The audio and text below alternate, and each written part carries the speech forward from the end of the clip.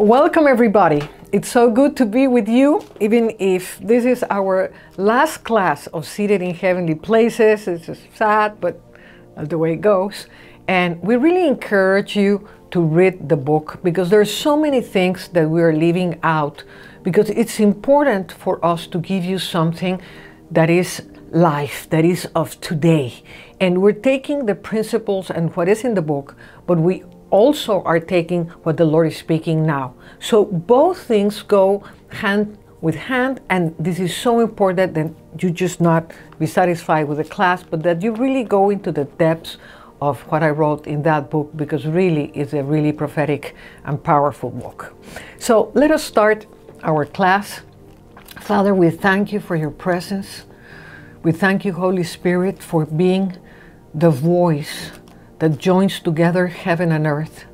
And I lift up every person, Lord, that this course is not just some information, but is a pathway for them to enter into higher realms that they really can be established and be and be seated in heavenly places. And that what you are bringing forth from heaven will manifest in their lives. And we glorify your name lord we glorify your name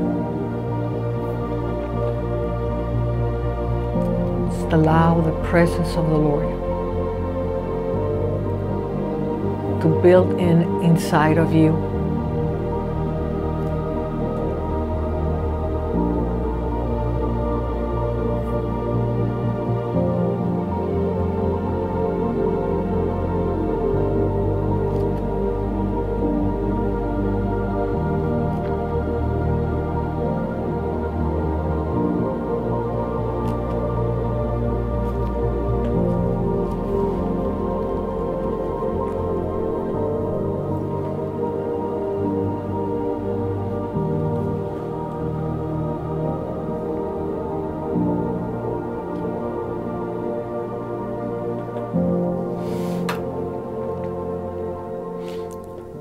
So today we're going to be touching chapters 8 and 9, and this is about the Reformation.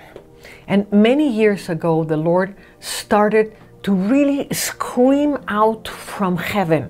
I mean, I wrote this book like more than 20 years ago when I started to hear in heaven Reformation, and it was so loud, so loud that the Lord wanted to reform all things. So, really, the manifestation of everything He wants to manifest in, uh, on earth will happen in our days. So, I'm going to start by reading 2 Corinthians 4, verse 3.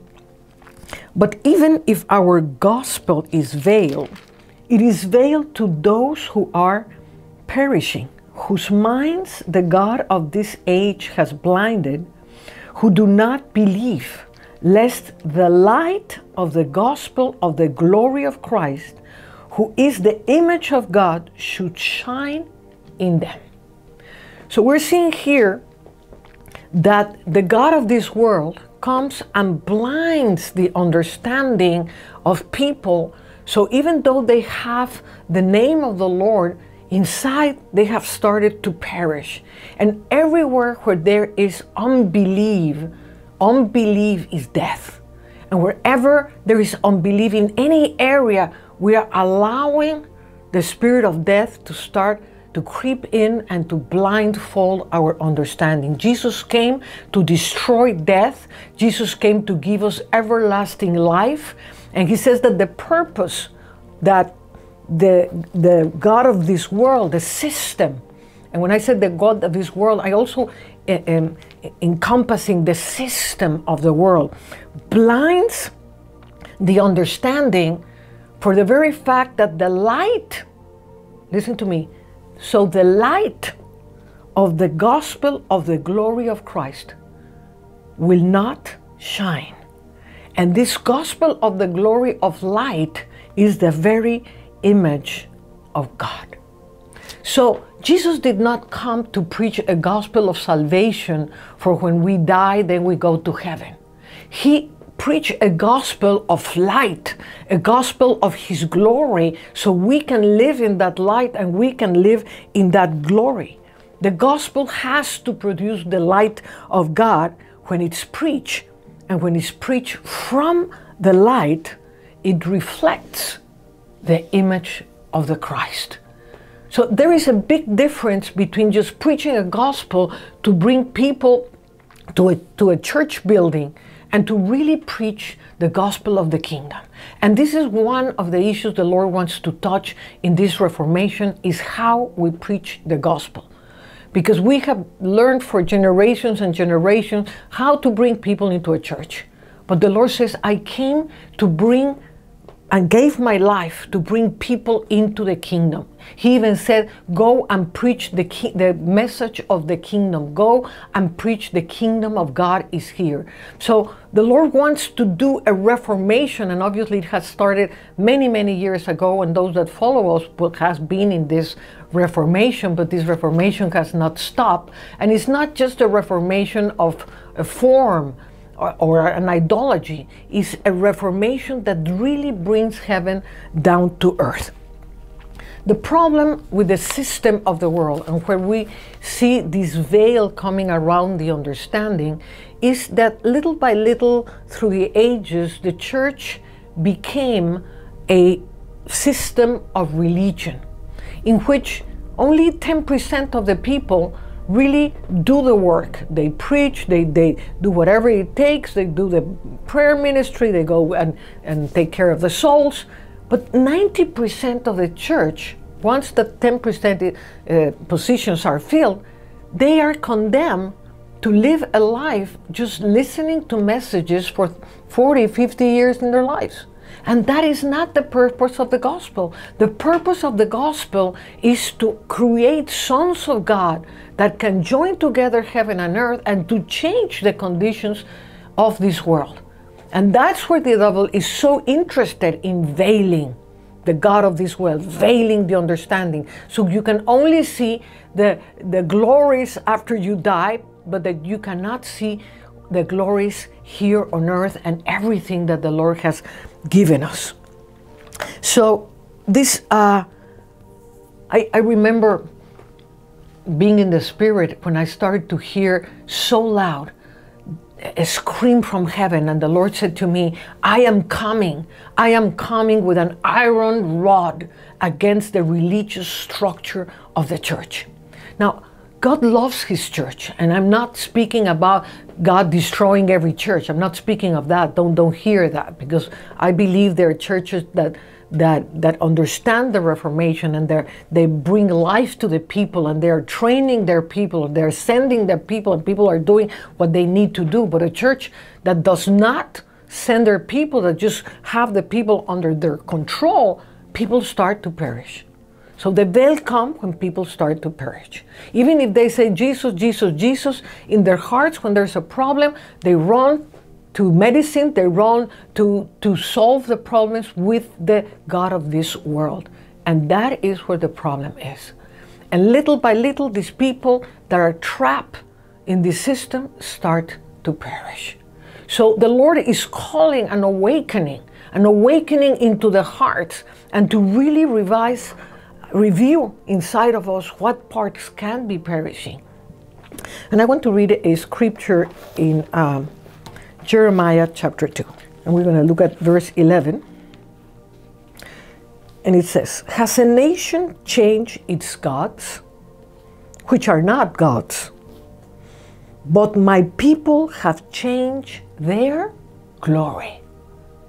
My people have changed their glory. The Lord called you to be a glorious people, but the church decided to leave their glory for what does not profit. They change their glory for something that does not profit. It does not profit to sit in a, in a pew year after year after year and lose your glory and, use, and lose the purpose of your divine call. He says they change it for what does not profit. And, and look what this is saying here. Be astonished, O heavens, at this, and be horrified, afraid, be very desolate, says the Lord. So the Lord speaks to the heavens. And the Lord says, because this is happening on the earth, heavens, be horrified, be astonished, be horribly afraid, be desolated, heavens. So if the Lord's speaking to the heavens in that way, how do you think it's happening beneath the heavens? Obviously, we're seeing this manifestation of fear, we're seeing this manifestation of horror, because if the Lord is calling the heavens to be horrified, because the, the people of God left their glory for something that profits not. Religion profits not. Everything that is from the flesh profits not. Everything that comes from the spirit, everything that joins together heaven and earth, everything that comes from the light produces life, produces light. But just sitting in a system that little by little is, is, is making you more dull and more perishable. Oh heavens! Be astonished, be horrified, afraid. For my people have committed two evils. They have forsaken me, the fountain of living waters, and hewn themselves cisterns, broken cisterns that cannot hold water. Is Israel a servant? Is he a homeborn slave? Why is he plundered. I want you to see this manifestation, and this is why Reformation is so important. The heavens are horrified. The messages of the earth are reflecting what heavens are producing horror, astonishment, desolation, death. Why? Because the system, the religious system into which the church has really bound the people, people are becoming slaves slaves of the system, slaves that they don't have their own relationship with the living waters. They just go, they do what they need, they're told to do. If they have a problem, they call the pastor. Everything depends on the third person. But the living waters, that connection of the living waters, my people have committed two evils. They have forsaken me, the fountain of living waters. The fountain of living waters is not in the third person. The fountain of living waters between you and God, entering, possessing the heavenly places that the Lord gave to you. But we create empty cisterns, broken cisterns that cannot contain the water. That is why every revival in history has died. Because the revival brings the glory, it's the manifestation, the Holy Spirit comes, but the vase, the building, the system is a broken cistern. And suddenly, everything that came from heaven is gone to the creaks of the broken cistern. Oh, why? Why this revival stop? because the vessels are not prepared to contain what the Lord is bringing in His glory. And they change the glory to put it into a system, and that's where you kill the living waters. And I, I believe God is making a tremendous, a powerful call. Because I believe even when, when the Lord is speaking to the heavens, this horrified, this astonishment, the Lord can also speak the glory again. If there is a people that rises up and tune up with the glory, that, that are tuning with these, these living waters, then God speaks to the heaven. And God speaks to the heaven and He says, Be glorified, be bring the righteousness, bring the glory back again, and the light will shine again.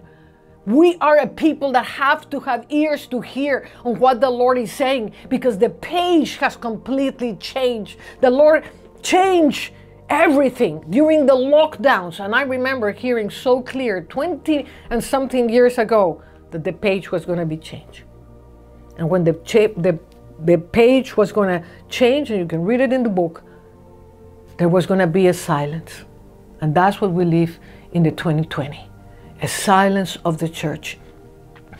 Thousands of pastors dying, hundreds of thousand people dying because they live in a system that is not profiting, that is not calling the glory of God. And it's not just about, oh, let's make a conference about the glory of God. No, it's about understanding. It's about people that live in the understanding of a gospel of glory. The devil or the God of this world has blindfolded the eyes so they cannot see the light of the glory of Jesus, of the gospel of the glory. And the gospel of the glory is when you can possess everything, when you can live in divine health, when you can trample every every system of the world and be above everything. And I believe the Lord is speaking very, very, very powerful right now. And this is part of the Reformation has to do with the understanding on what is the apostolic. So this Reformation also has to do with bringing the true apostolic. Unfortunately, like 20 years ago, we started to see an apostolic movement, but it's really important to understand what is an apostolic movement and what is not an apostolic movement. When we speak about apostolic, it has to do with the light of the first day. When the Lord saw the earth in darkness covered with, with, with waters and all in, in disarray, he said, Let it be light.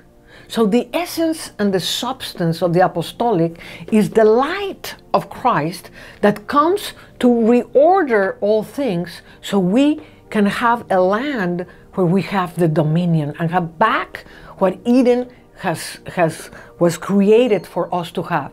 Jesus came to bring back, to restore what was lost, and what was lost was not Jewish traditions, what was lost was the Garden of Eden. And Jesus is up to bring us back to the Garden of Eden where all the dominion has been given to the sons of God. So understanding the apostolic is very, very important because the apostolic has to have, has to bring a revelation of the Christ. The apostolic, the real apostolic movement is a movement that builds. Apostolic means to be sent and to be sent to build. To build what? The unity of the church, the, the, the holy city that is the one that will rule and is seated on the high mountain of God, the place of his rulership, the place of his throne, the place where his light shines over the earth. So, apostolic has to do with understanding of the divine designs. So, in order to be apostolic, you have to understand the holy city because the holy city is the design of God that rules over the earth. In order to be a true apostolic, true apostolic brings unity to the church. It's not about I am of Apollos, I am of Paul, I have this denomination, I have this network, I am the apostle of this group, and I am against the apostle of that group because we don't think the same. That's not apostolic and we took the apostolic to just put titles on people. The Bible speaks very clear, and Paul speaks very clear. Paul, apostle of Jesus Christ. When we put the name apostle before, Apostle Paul, that's a title. But Jesus did not come to bring us, to give us titles, He came to give us functions. So you're never going to read Apostle so and so in the Bible. He called themselves, I am Paul. You are Timothy. Even you call Jesus Jesus. You don't call, oh, Messiah Jesus, or Rabbi Jesus, or King of King Jesus. You just call him Jesus. But if you're talking to a man, you have to put a title before. That thing, it's, it's, it's, it's nonsense and needs to change. We are brothers and sisters with different functions. And there are functions that has to do with authority, and there are functions that has to do with training, and functions that has to do with the prophetic, and functions that has to do with taking care pastorally of people. So there are different functions. So the true apostolic understand the spiritual realm because the designs of God on how to build are in the spiritual realm. They know and they discover and they read in the books of heaven the designs that have to come to the earth. And they go, they walk hand to hand with true prophets. And when I say true prophet, I also come to this reformation because the prophetic also has been so damaged and so so diluted, and all, all we have is uh, prophets of destruction, some prophets that prophet uh, are, are foretellers of the future. A true prophet has to bring you a deeper revelation of the Christ because Christ, this testimony of Christ is the spirit of prophecy. So if the testimony of Christ is the spirit of prophecy, everything that comes out from the voice of a prophet has to give you thirst and hunger to go further and further in the knowledge of Christ. Then the prophetic has been manifested because the prophetic is the voice that comes from heaven and establishes it on earth. And the apostolic comes and gives it form and gives it the building and the proper vessel so the fountains of living water will not be lost in broken cisterns. Are you hearing me? The church is not a system of slaves. Today we have a system of slaves, a system that people are in bondage, being afraid of everything. You are not a, a, a, a, slave. You are not someone that is, that is born just to, to follow somebody else's fears or whatever they're teaching. So the apostolic brings back the glory of God, brings back the designs of what each person needs to be. They are gifted to see the people and and see the designs and see what they have to bring forth in their lives so their lives can be efficient, so they can bring the light that is the image of God in their, in their midst, in their works, wherever they are. So this is why we need so much a true apostolic that really bursts forth the gifts inside of the people, that, that turns them on, that, that awakens the spirit of people. The apostolic has to do with bringing back order. The order of everything that God created the same way in the beginning, He started to restore everything. So He can put man on dominion of everything He first created. So the apostolic brings order to the living church, to the living stones, and brings the will of God to be done on earth. We need the will of God to be done on earth. We cannot go on with the will of all these conspiracies and all these governments, what they're doing. We need a people that truly can bring the kingdom down, that truly can be can bring the will of God down to the earth. And this is going to produce shakings, shakings in a lot of structures, shaking in the very structure of the church. Um, I believe that with all this pandemic and lockdowns and the close of so many borders and and everything that is happening, there is a, a restructure. And thousands and millions of people that lost their churches because how many churches just were absolutely destroyed, they, they closed down, or the pastor died, or whatever. And they're finding that within their families, without, with the people, with their friends, they can be connected to God. It is very important that not only be connected with God and but not to be isolated. We have to have the sense of belonging, of belonging to a body of Christ, to the body of Christ. The Lord didn't call the church to be just a lot of people just spread out with no with nothing that joins them together. No, we are joined by the Spirit. We are joined by a true prophetic and apostolic ministry that finds the links so this organization and this other organization and this other uh, person that are leading the church the way God is directing them, the true apostolic has to find the links to join together so every believer, rather you have a physical church or you don't have a physical church, you are the church, but you have to be linked. You have to belong to the family of God. That is very, very, very important. When we talk about the apostolic, we're talking about a ministry that truly creates the vessels in which the glory can be contained. And unfortunately, the vessels are so broken. And that's why it spoke is speaking about the broken cisterns, because even the bodies are so broken.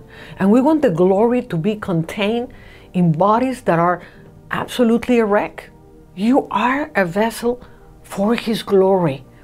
And it's like the like the wineskins if the oil of the Holy Spirit doesn't come and truly restore, restore the, fle- the flexibility to understand new things, the flexibility to enter the new realms that the Lord is revealing, then your wineskin also breaks because you're used to a method, you're used to do things in a religious way. As the true manifestation of the apostolic has to do with the redemption of all things, as it's spoken in Colossians 1 19 and 20, that the blood of Jesus came to restore all things, not only humanity.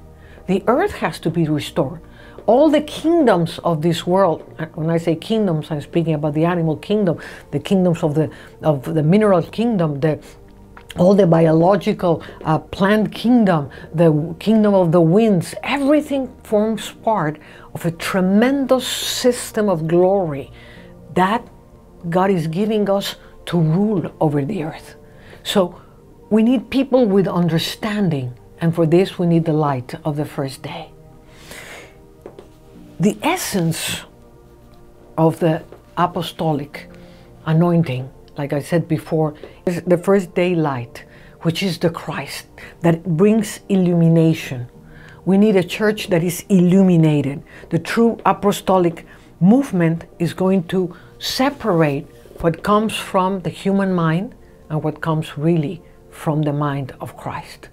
We need an apostolic movement that brings the mind of Christ back. And that's why we persevere in understanding. We persevere in bringing down everything the Lord is giving us in this ministry because we want to form vessels of light. We want to form vessels that can contain the glory, that are, that are not slaves, that they're overcomers. It's like the, the book of Joel, chapter 2, is saying that the light, the in, in the midst of the darkness, in the midst of the glooming day, there's going to be a people like the mist in the mountains, a people that that no other generation has seen, that the fire will will come and burn in front of them, that the fire will, the flames will burn behind, that you can have Eden in front of you, a people that is rising in the power of God, a people that is not afraid of whatever the government is saying. The Lord is touching a new generation. The Lord is touching a new generation that has not been contaminated with a lot of religion and fears of religion because religion has placed so many fears in the people that they don't dare to be who they are called to be. And the Lord is saying, You have a heavenly call. And this is where the apostolic comes to place. And I want, I want to read it, something that is so, so powerful in Hebrews chapter 3, verse 1. Therefore, holy brethren, partakers of the heavenly calling, partakers of the heavenly calling. Listen, open your heart let the veil be ripped off your minds because you have a heavenly calling. Consider the apostle and high priest of our confession, Christ Jesus. Everything that Christ is, is the essence of the apostolic everything that he is as the high priest, everything that he is as the king of kings, as the ruler, is the one that builds you in that heavenly calling. This generation of fire, this generation like no other generation, a generation that walks without hindering the others, but they know their calling, they're living stones, they are ready to really connect heaven and earth. And I have seen this over and over in my prayer how people are starting to tune up with heaven, and that light remains, and that light remains, and there's no darkness that can come against the light of the first day. Wherever there is disorganization, wherever there is chaos, wherever there is fear, wherever there is these veils where people are perishing, there is darkness. But a light is coming. A light is here. The light of the true apostolic is here. And you need to tune up. Tune up with life. Tune up with the streams of living water that is a resurrected Christ in you. And I am calling forth this generation. And I'm calling forth a generation of apostolic understanding and, and it's not just to be an apostle. You can be an evangelistic with the apostolic light of Christ. You can be a prophet with the apostolic light of Christ. We are creators of a new world. The Lord gave us the ability to create things because Jesus is the light of the first day that created all things. And I believe we have that power in us. We have the power to create new things. We have the power to create new atmospheres. We have the power to create new cities, new governments, new everything. Because that light comes and brings order. The world doesn't know how to walk anymore, but we need to walk straight. It's these people that Joel saw, and nothing can come against them. Even if they launch in the weapons of evil, nothing will touch them because they are of the light. And if you are of the light, if you are of the life, if you are the stream of life in this world that brings the life of Christ, nothing will touch you. And I believe, as part of the apostolic, is to give this to a new generation. And that is why we started to do these classes with my daughter. So you can see the fathers and the sons coming together as a power that joins together, that hits together, the old and the new coming together as a treasure in the treasures of the kingdom. You can find things of the old and you can find things of the new. So a new generation and the old generation that has tuned up comes and gives the final fist that this world needs to enter into the glory of God. So, Ana, please follow us.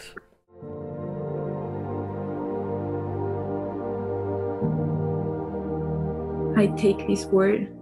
I take this word. I take each and every single one of these words for me, for my family, for this generation. Because one of the things that my mom and myself we talk all the time is that there is this need, this raising up of a generation that shines the genuine light of the resurrection of Jesus, a resurrection, a, res, a, a, generation of, of a church that knows how to establish the kingdom of God over the earth. And we are that generation. We are that generation that is tired of all of the religious, of all the oppressing systems, because we do not belong there. We want that revelation that comes straight from heaven. We want that revelation that comes straight from the Father. We want that revelation that is limitless and that is going to take us in, into different dimensions. And it's it's how it was supposed to be from the beginning. It's the perfect design that God had for us in the Garden of Eden. In this generation, the church is the one that displaces any other government. We are talking about a church that conquers, that enters that gap and, and fills it and, and fights unusual battles in order to give birth to the true kingdom of God on the earth. And when I speak church, I want you to think, I want you to think of each one of your hearts. I don't want you to think about doctrine. I don't want you to think about a building. I don't want you to think about a multi-level system where you have to uh, bring a friend or, or bring someone else in order to move forward. No, I'm talking about a church that is completely unveiled, a church that fasts, seeking the presence of the Lord and His direct revelation. A church that seeks the heart of the parents and the sons, and as a family of all the sons of God together. Understanding who we are as children of the resurrection of the resurrection is going to change absolutely everything because the army of God destroys all the territories of the devil. Everything that was in front of you that is not supposed to be there, it's destroyed. And you can start seeing and experience the true dimension in which you are supposed to believe in which is the, the dimension of the garden where heavens and earth are made one and we are made one with Jesus and Jesus is made one with the Father. There's no one who can escape the hand of this generation. There's no one that can escape the light of the Father as the ruler and as the victor. We are that generation that Isaiah saw. We are that generation whom the glory of God is born because God Himself is seen in us. They're not seeing us anymore, they're seeing the light of the resurrection of Jesus. In Revelation 3, verses 17 to 21, the Lord is seeing everything from above. And He says, Because you say, I'm rich, have become wealthy, and have need of nothing, and do not know that you are wretched, miserable, poor, blind, and naked. I counsel you to buy from me gold refined in the fire, that you may be rich, and white garments, that you may be clothed, that the shame of your nakedness may not be revealed, and anoint your eyes with eye salve, that you may see. As many as I love, I rebuke and chasten. Therefore, be jealous and repent. Behold, I stand at the door and knock. If anyone hears my voice and opens the door, I will come to him and dine with him, and he with me. To him who overcomes, I will grant to sit with me on my throne, as I also overcame and sat down with my Father on his throne.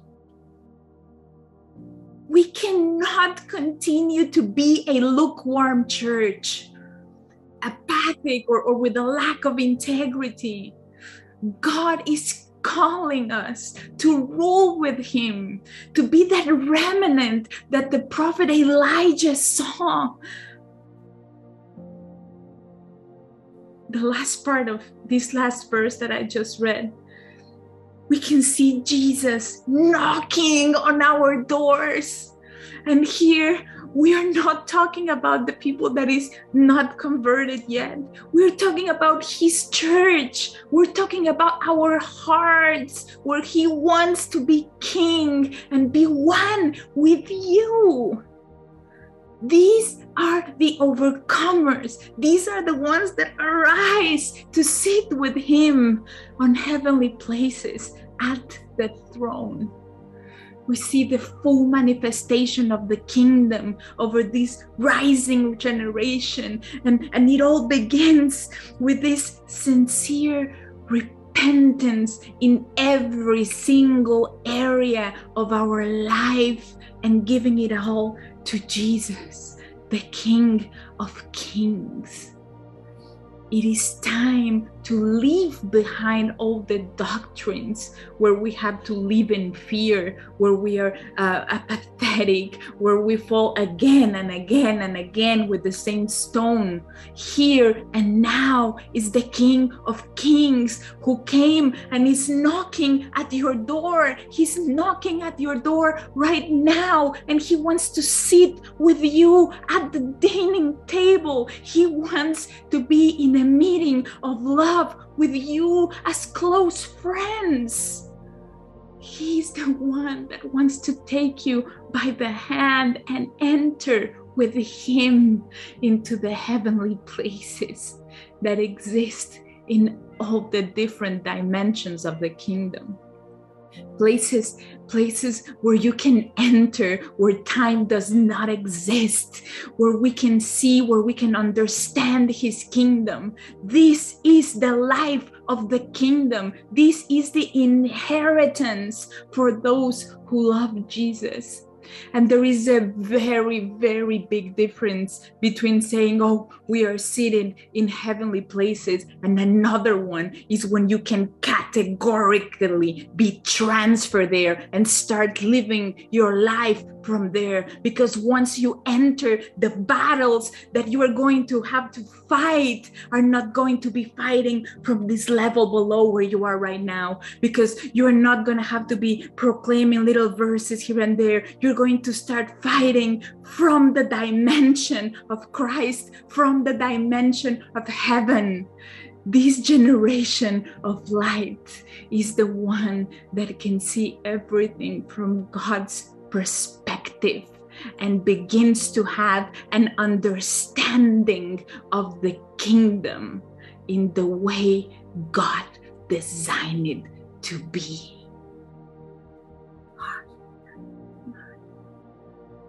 The book of Revelations, chapter 12, 7 to 10, it says, And war broke out in heaven. Michael and his angels fought with the dragon and the dragon and his angels fought, but they did not prevail, nor was a place found for them in heaven any longer. So the great dragon was cast out, that serpent of old called the devil and Satan, who deceives the whole world. He was cast to the earth, and his angels were cast out with him. Then I heard a loud voice saying in the heaven, now salvation and strength and the kingdom of our God and the power of his Christ have come for the accuser of our brethren who accused them before our God day and night has been cast out. And in this battle, that was carried out in heaven. The sons of God are the ones who are going to be achieving this victory. And we see this in this verse that says, and they have defeated him by means of the blood of the Lamb and the world of their testimony and they despise their lives to the death. And it is so amazing to see and to live how this generation of, of true sons of God conquers with the power of the blood of Christ. And to achieve this, we need to have this, this deep understanding of the, the sacrifice that Jesus made and it is in that moment where we merge with the light, where we merge with the light that comes from the blood. It is in that moment where we get together with the love that cannot be defeated because it's a love that goes beyond death. And it is that love that carries the greatest power in the universe and destroys all evil. We have already said this many, many times. The secret of shining, the secret of that true light is loving love bearing witness and, and bringing evidence of the reason Christ living inside of you and you living in Him is a testimony of the works and the presence of God in your life. And who is this generation we're talking about? How does God choose this generation? Well, He is the one that is knocking at the door of your heart right now because He doesn't want a lukewarm, apathetic church. And he continues with his instructions in the book of Revelation 3 8, where it says, Buy my gold refined in fire. And by saying the word buy, He's telling us that we have to pay a price. And I am not talking about the price of salvation that we know that is given to us by grace and not by the things that we do. I am talking about what the price that you have to pay in order to be seated in heavenly places. This gold, that it refers to, to the celestial wisdom, the understanding of the kingdom, to enter and be purified by that fire that is going to destroy everything that remains. That fire that is also going to, to sharpen us like, like a, sword that removes everything from this world. When we when we come to christ and and we see the first fire and, and we fall before his holiness now we're gonna go deeper because this fire that we're talking about is the one that is on top of the mountain. And you are seeing that fire and you want to go there and you have to climb and you see the storm and it might be scary because you see the lightning and you see all this roar and you have to climb. You have to climb that mountain. You have to stop listening to the voice of man that is inside of you that is telling you no no no. And you have to stop all of that and listen only to the voice of God that is telling you, You are my child, you persevere, you go on top of that mountain. Oh, presence of God here. Buy my white garment and here like the refined gold of the previous instruction we have to go deeper. Because these these vests of salvation that he's talking about are the light of the first day that were given to us in the beginning. And paul talks about this in, in 2 corinthians 5 1 and 4 it says for we know that if our earthly house this tent that is destroyed, we have a building from God, a house not made with hands, eternal in the heavens. For in this we groan, earnestly desiring to be clothed with our habitation, which is from heaven. If indeed, having been clothed, we shall not be found naked. For we who are in this tent grown, being burdened, not because we want to be unclothed, but further clothed, that mortality may be swallowed up by life. And these garments that Paul speaks are the heavenly room, that dwelling place that causes everything that is mortal to be absorbed by the life. It is the very presence of God that clothes the children of the kingdom. These are the same clothes that, that Adam had in paradise, which allow him to to know that he was dressed in front of God.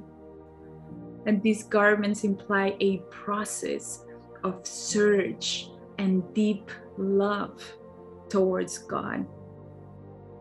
John 14 23 says, Jesus answered and said to him, Whoever loves me will keep my word, and my Father will love him, and he will come to him and make our home with him. Because here Jesus is emphasizing those who love him. In those are the ones that they're going to pour their heart out those who are obedient to the word for the love of Jesus.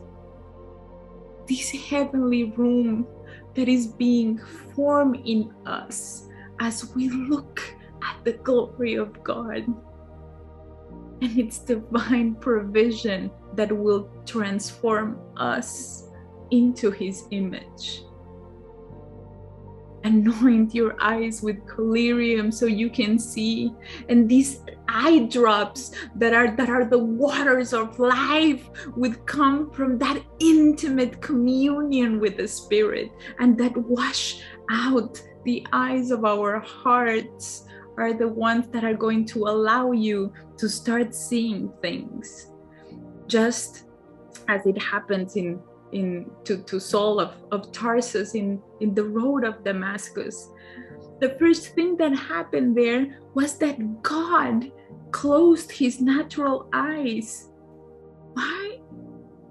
Because Saul of Tarsus truly loved God. He was doing things that, according to him, were okay. But it was all wrong. He had the wrong perception. So God had to close his natural eyes in order for him to be able to open his eyes into the true kingdom of the light. A perception that doesn't come from men, but come directly from the revelation, the communion, and the intimacy that you have with God.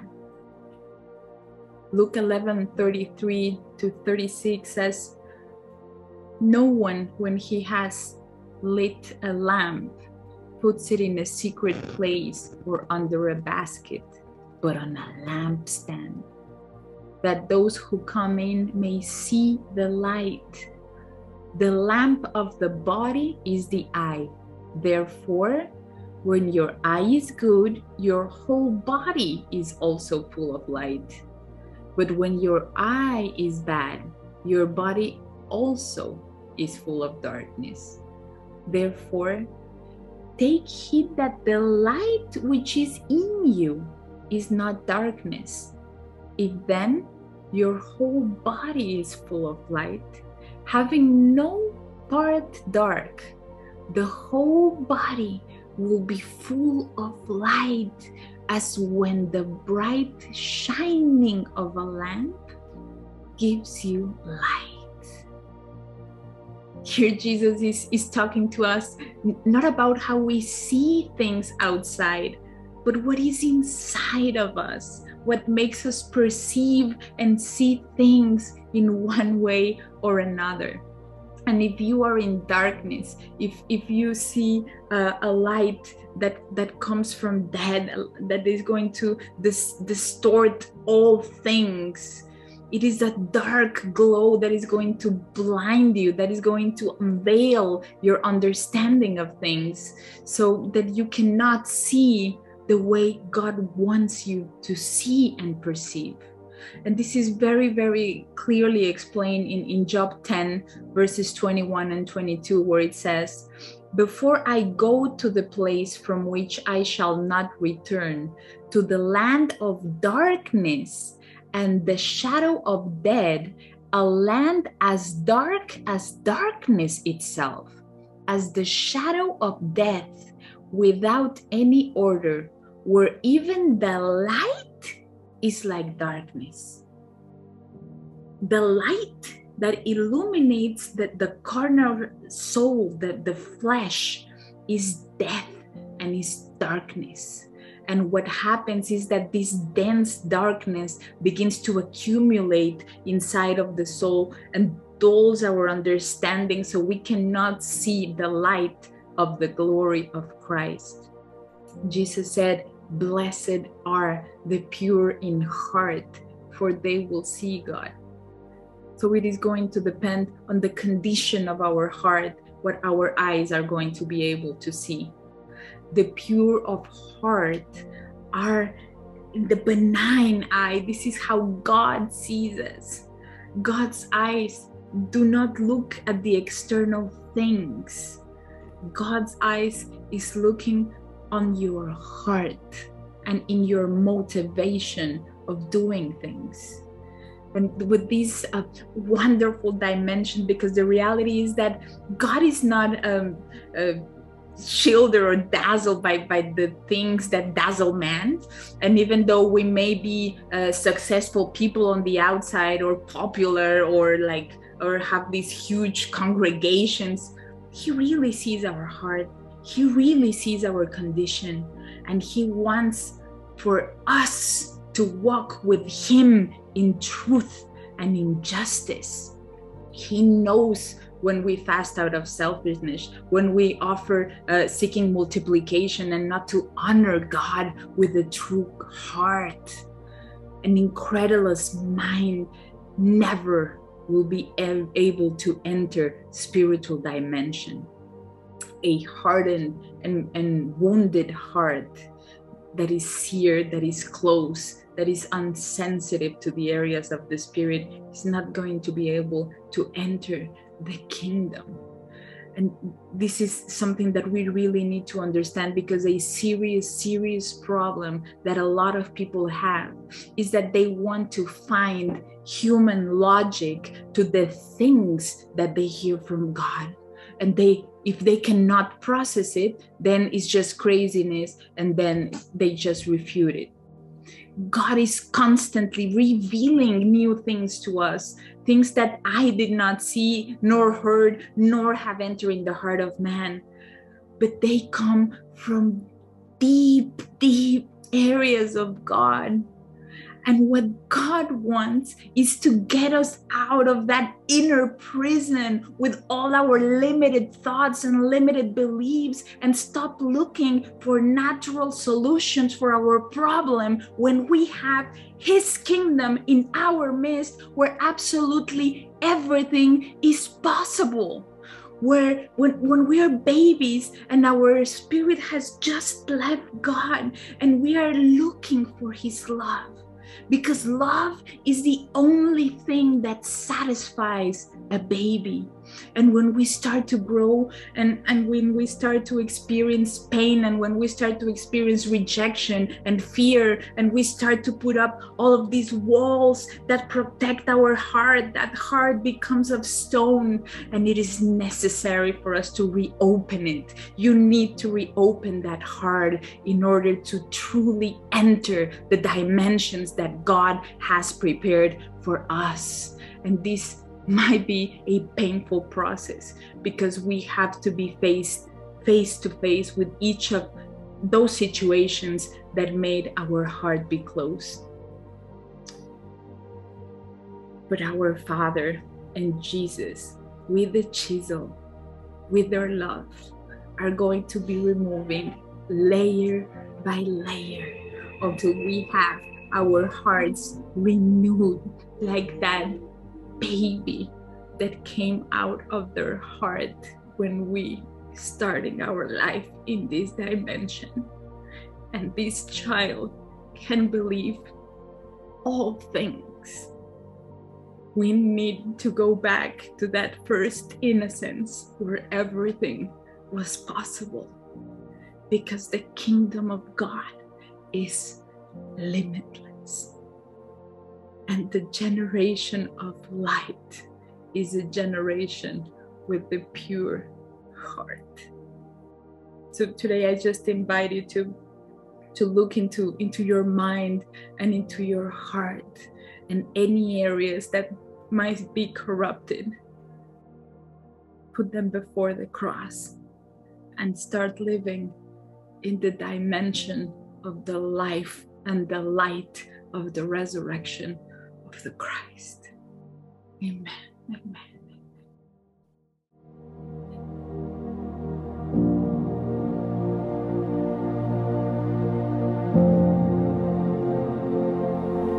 That was so, so powerful because literally that innocence is the opposite of fear. Innocence is actually the source of life, and that's where the Lord wants us. That's where He says, that we need to be like a child to enter the kingdom of God. And I want to pray for you. So, Father, under the apostolic anointing that is on my life, I speak, let it be light. Let it be light, light in every area of darkness in the hearts of your people. I speak light I speak restoration. I speak reformation. I speak your love. I speak your boldness. I speak your fire. I speak your riches. I speak everything that comes from the kingdom of God to manifest in their lives. And it will be a shower of glory that will continue as they persevere into the rivers of life. There's going to be a shower of divine revelations that is going to rip off every bit and piece of the veil the God of this world has placed in the minds of your people. And we thank you, Lord, for the opportunity of being alive in this hour. We thank you, Lord, for this divine calling, this heavenly calling that the apostle, the high priest, Jesus Christ has given us to manifest you on earth, the image, the light of the living God on earth. And we thank you, Lord, for giving us the privilege to minister to your people. And I want to bless, to bless also those who have honored you with their finances, with their love to this ministry. We thank you, Lord, for their lives. We bless them, and I speak an apostolic increasing of their wealth, that there will be no shortage. As, as I read in the book of, uh, of Jeremiah, why is your people plundered? That they will not be plundered, that you will cover their lives, their finances, and they will never again be plundered because understanding has entered their hearts. And we thank you, Lord, for your people. We thank you, Lord, for everything you are doing. Amen. May the Lord bless you richly.